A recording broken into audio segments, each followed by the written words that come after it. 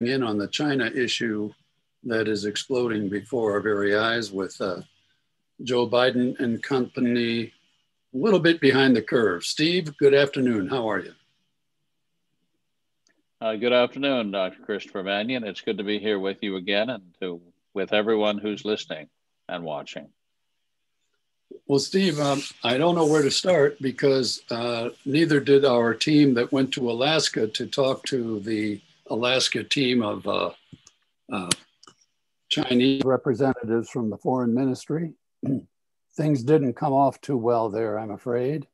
Um, and in the wake of that meeting, uh, perhaps you want to give us a little uh, set the table for where we are now after that disaster.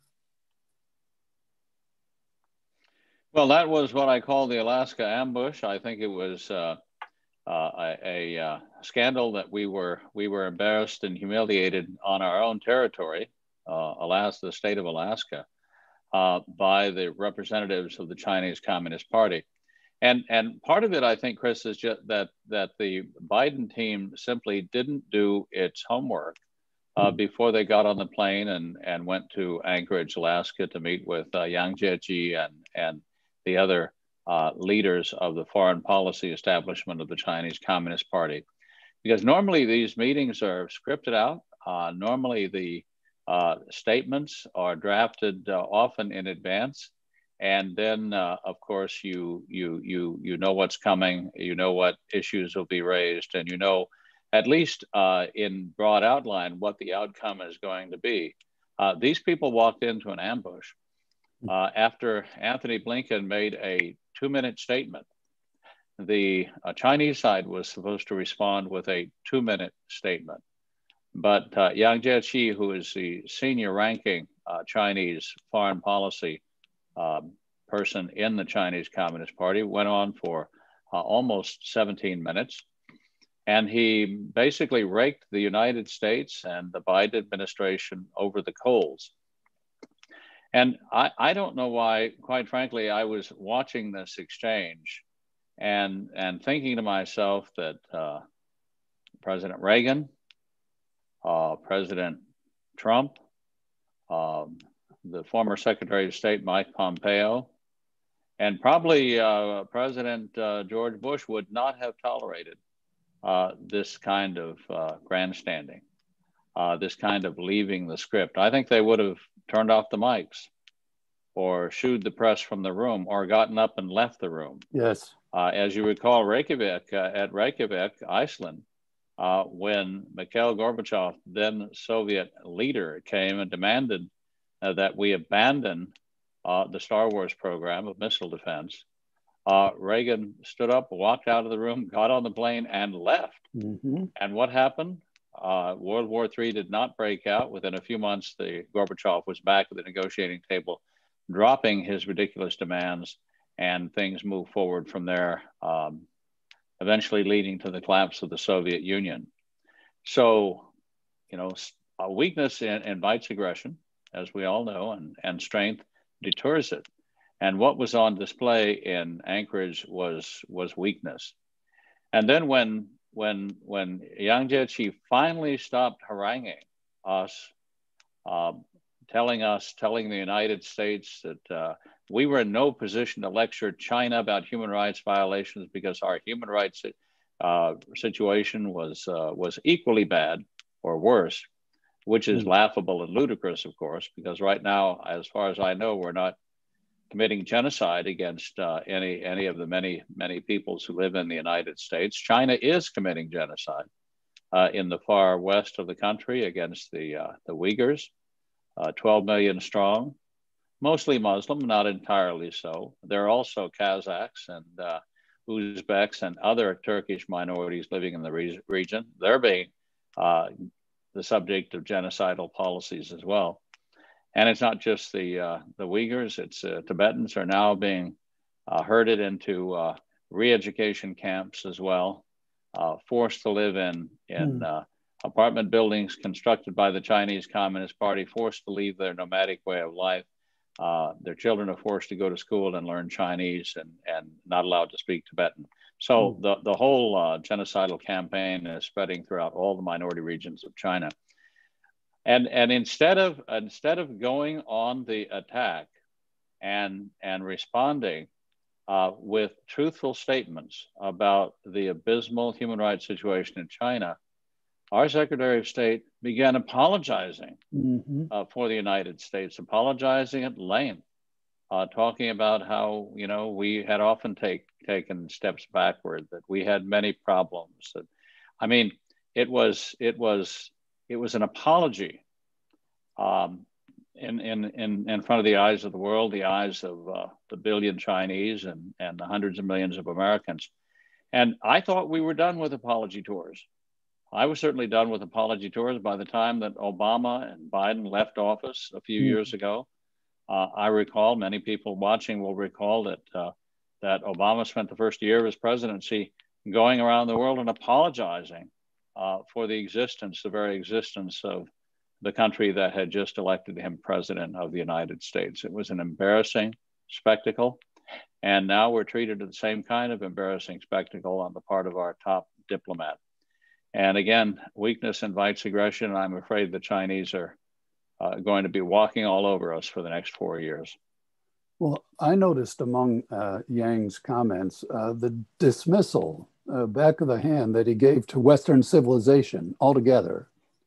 Uh, no longer does this uh, tradition, as old as Christendom, but not as old as China, no longer does this tradition of the dignity of the individual, limited government, and civil virtue, civic virtue, and moral virtue uh, he says, well, that's just the uh, view of some people.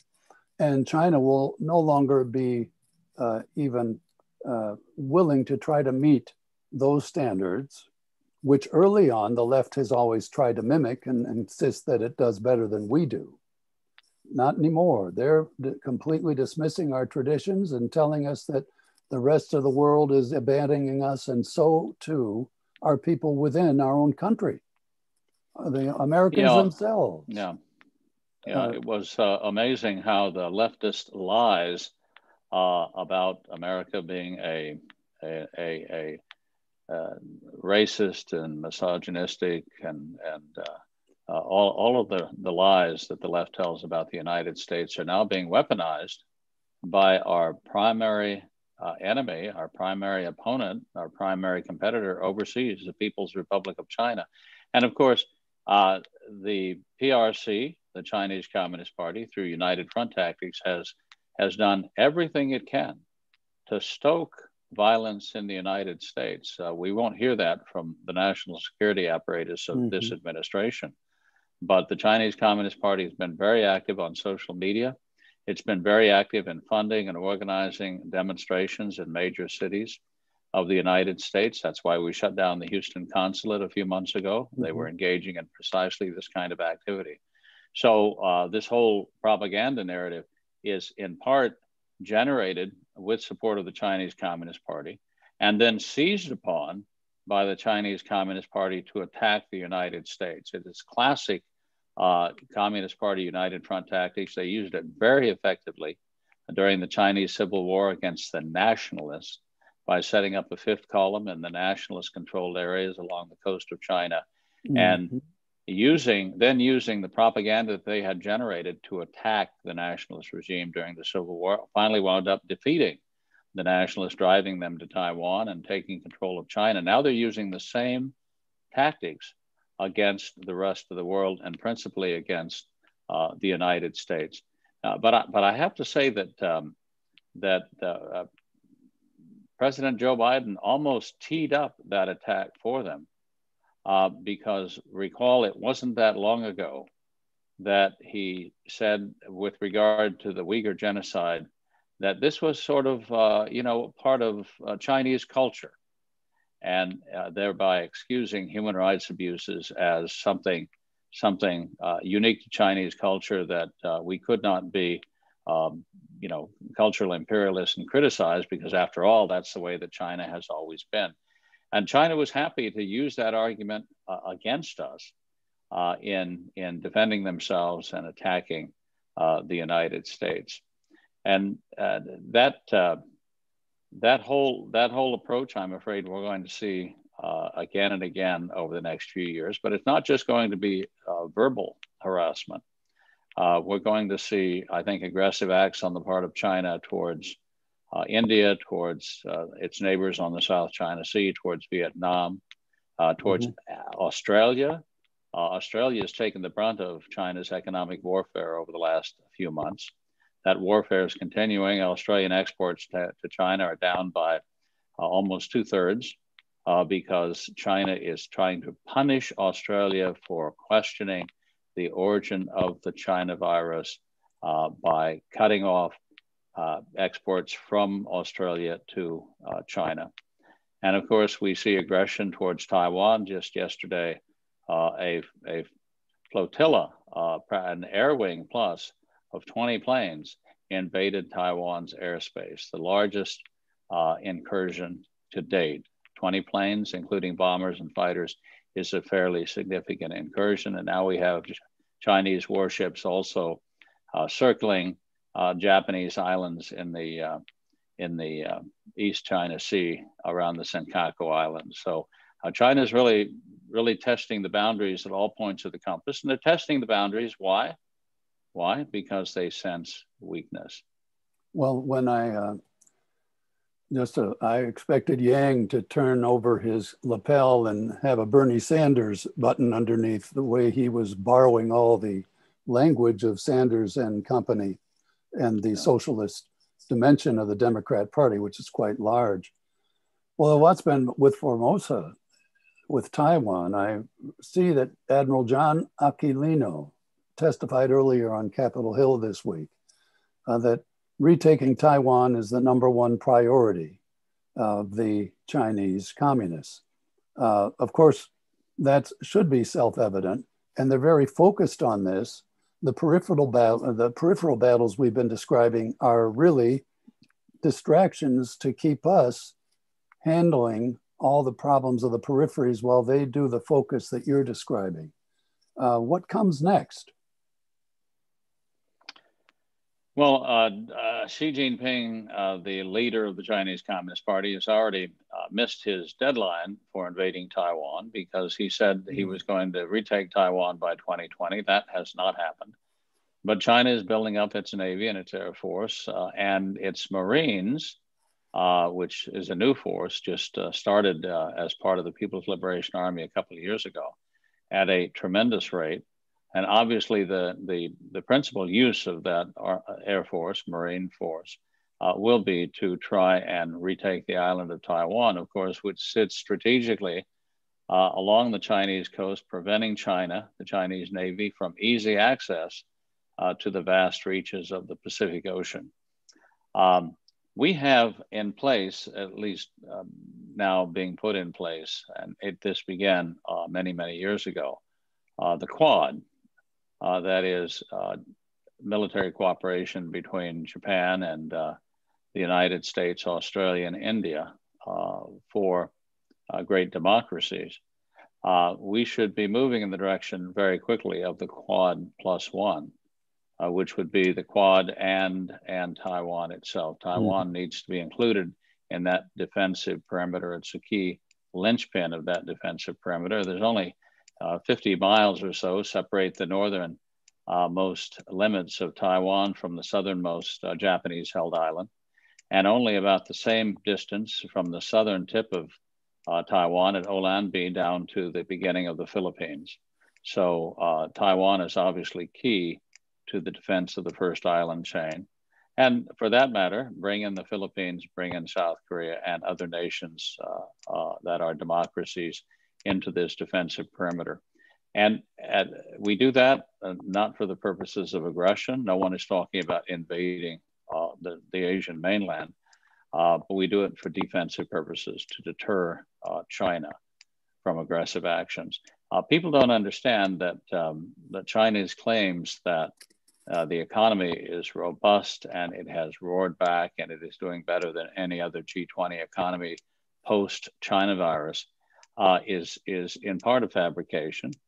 Uh, they have a, a, shortage of hard currency right now, so they have economic problems coming down the pike. And uh, we could very easily see uh, aggression overseas to distract the population at home from the economic turmoil that's coming. Well, with that in mind, uh, they're doing a lot to distract us from uh, their primary, uh, uh their number one priority, as Admiral Aquilino put it. We've got the virus uh, still chasing uh, and being chased around the world.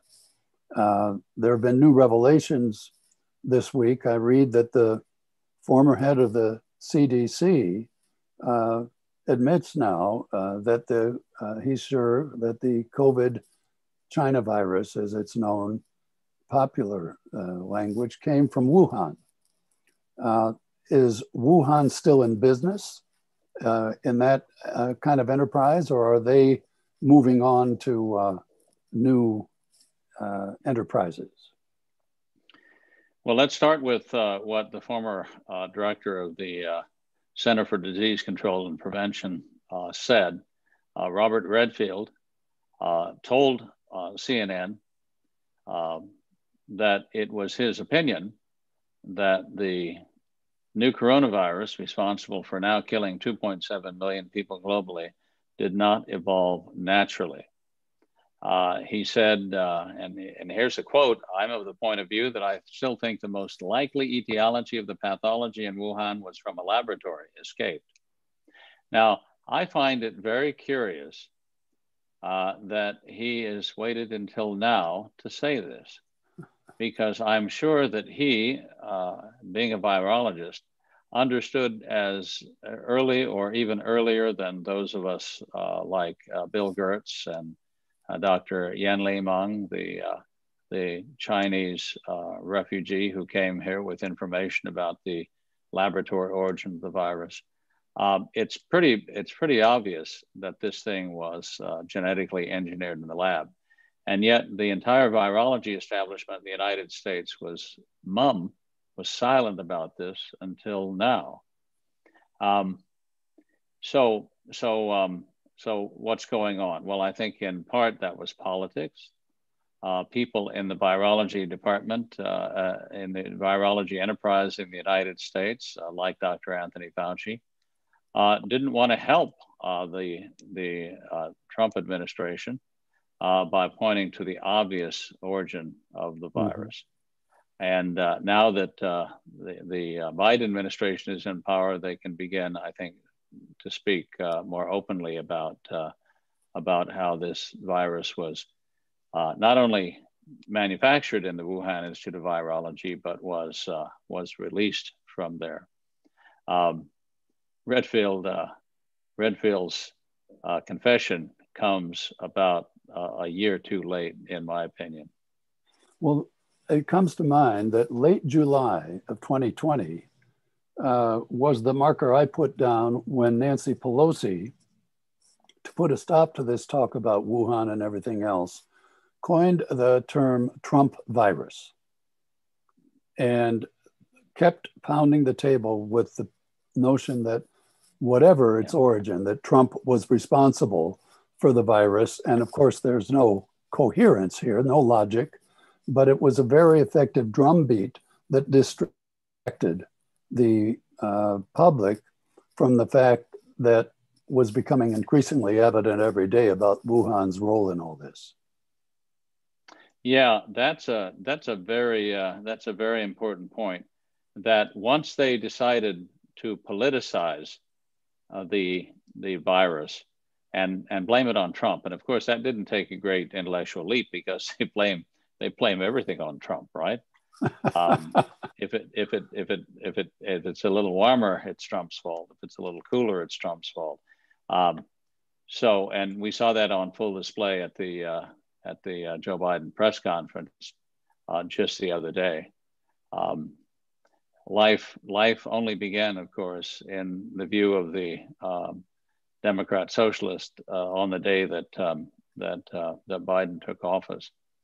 So so the, the, the, the point, though, is that China's deception over the coronavirus origins uh, got more outrageous uh, as the weeks went by.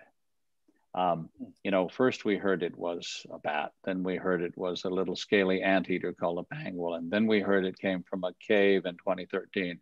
Then we heard a lab worker was bitten by a bat. Then we heard that it came from the US Army brought over during the military games in October of, of 2019. The stories, the, the, the, stories were almost endless. And that itself, of course, is a clue that uh, the Chinese were not being, were not being uh, honest and candid about what uh, what was going on. Um, you know, this is this is called in uh, in in the law. It's called consciousness of guilt, right? Um, that's that that's what happens when the police knock on your front door and and you run out the back door. Why? Because you know you're guilty and you're trying to escape uh, detection. Um, so China's been doing that from the get go.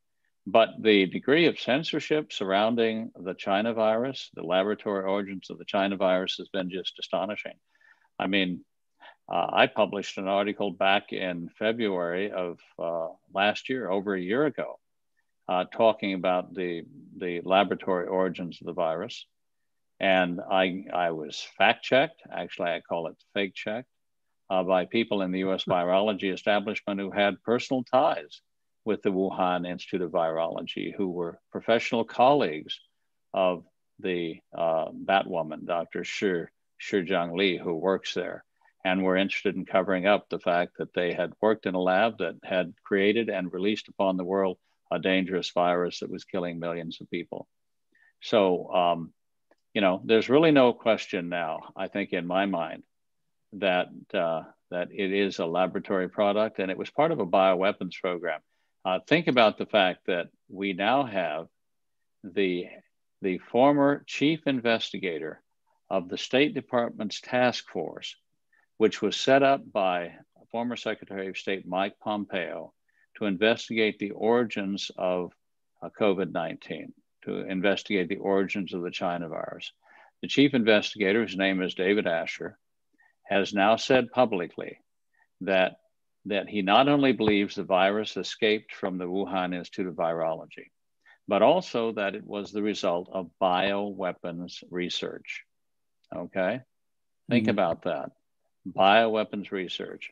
And I have a direct quote here. He said the Wuhan Institute of Virology is not the National Institute of Health. It was operating a secret classified program. In my view, the State Department officials said it was a biological weapons program. And, and if this is an explosive charge, I mean, think about the millions of deaths that have resulted yeah. from the coronavirus. Think about the trillions of dollars in damage that has been done. And this is a result of a bioweapon. But of course, a growing body of evidence suggests that that's exactly what it, what it was. Uh, we know, I mean, we've known for some time that China does have a bioweapons program. They signed the International Convention uh, on Bioweapons back in 1984. The convention itself dates from 1972. China signed it in 1984, pledging not to develop uh, offensive bioweapons. Mm-hmm. But of course, like every other treaty, like every other treaty they've ever signed, the, the ink was no, no sooner dry on the paper than they began to violate it. Um, the list of broken treaties by China is, uh, is quite long and uh, includes this bioweapons convention. And we know that they were developing uh, bioweapons in the lab in Wuhan. We've known since 2017 that the People's Liberation Army had a program, was funding research at the Wuhan Institute of Virology to develop uh, and genetically engineer dangerous uh, coronaviruses. And one of those coronaviruses uh, is uh, the one that we're now dealing with. And there may be others. I mean, I'm not, I'm not at all convinced that, uh, that COVID 19 is the end of the story. They may have COVID 20 and COVID 2021 and, and, and on and on. Because these things, once you master the techniques, uh, Chris, these things are not difficult to manufacture. You a reasonably equipped laboratory in six months can produce something like COVID 19. Uh, that's the, uh, the, the frightening part of this whole story.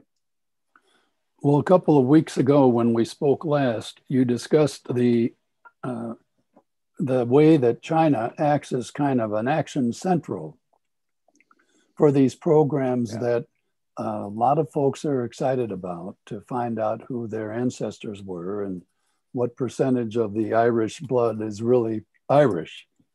Um, I've got some friends who are really at each other's throats because one insists that he's more Irish than the other. Uh, with that in mind, China has all these millions and millions of data, uh, which are identifiably Caucasian or African or whatever. Uh, and as you point out, uh, they have one concentrated goal. Uh, their priority strategically is Taiwan, but their priority in the long run is more power. How are they going to use those to possibly um, have an effective defense against the possibility that the United States, Europe, uh, India uh, could actually be effective in countering their China's next offensive effort?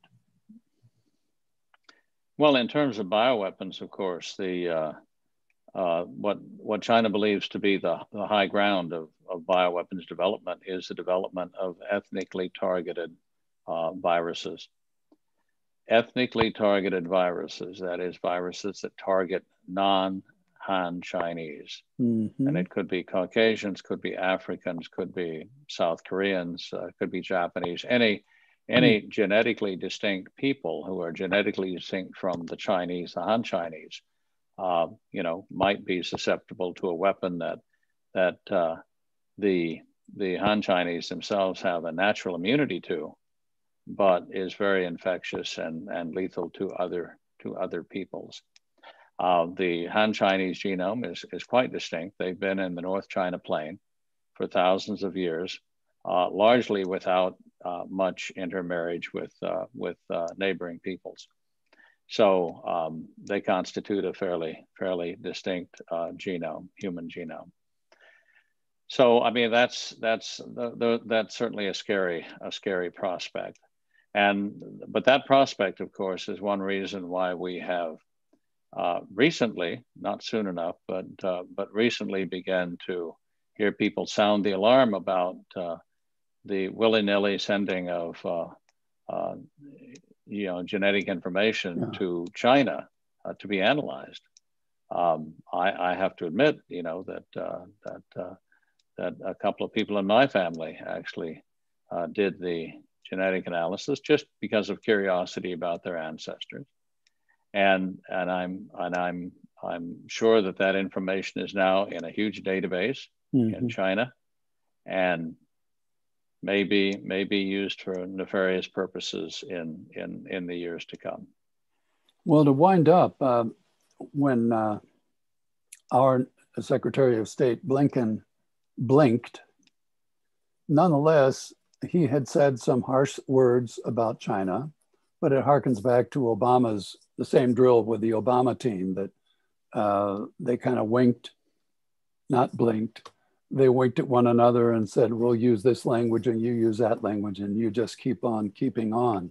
Is there anything that we can anticipate that the Biden administration will do right when it comes to dealing with China because of the threats that we all know are very um, uh, imminent?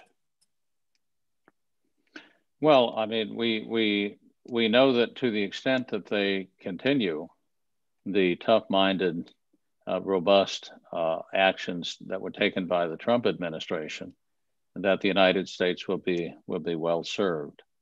And and I was I was pleased to see that the United States, in conjunction with Canada and the UK and the European Union, has now placed new sanctions on a couple of senior Chinese Communist Party officials who are responsible for the ongoing genocide in, uh, in eastern Turkestan, in the far west of China, against the Uyghurs and the Kazakhs. Now, the, these were the individuals who had, for example, the uh, Ministry of uh, Public Security in that area. That is, the, the gentleman who runs the police force. Uh, but make no mistake, we know that policy in China is dictated from the top down.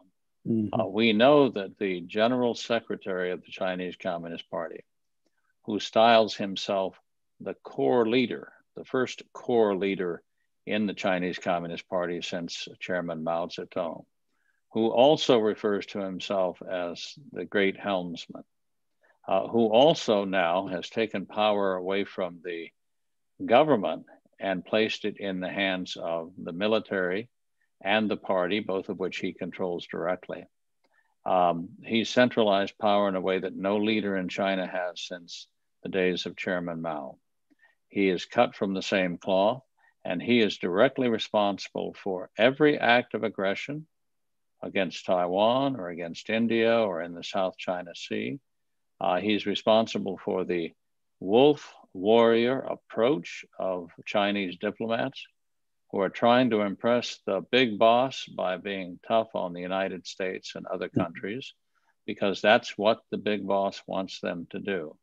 And of course, Xi Jinping, we understand, directly ordered the policy, the genocidal policy against the Uyghurs and now the Tibetans and Kazakhs to be put in place. Uh, the buck stops with him. And unless and until we get serious about sanctioning the senior leaders of the Chinese Communist Party, I'm afraid uh, uh, the human rights situation in China is not going to improve, and China will continue to behave aggressively.